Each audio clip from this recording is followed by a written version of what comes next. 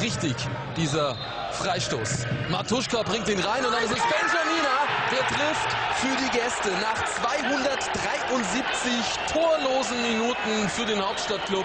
Endlich mal wieder ein Treffer. Viel schief gelaufen auch hier. Da geht nämlich Sidimar nicht mit, Benjamina völlig frei und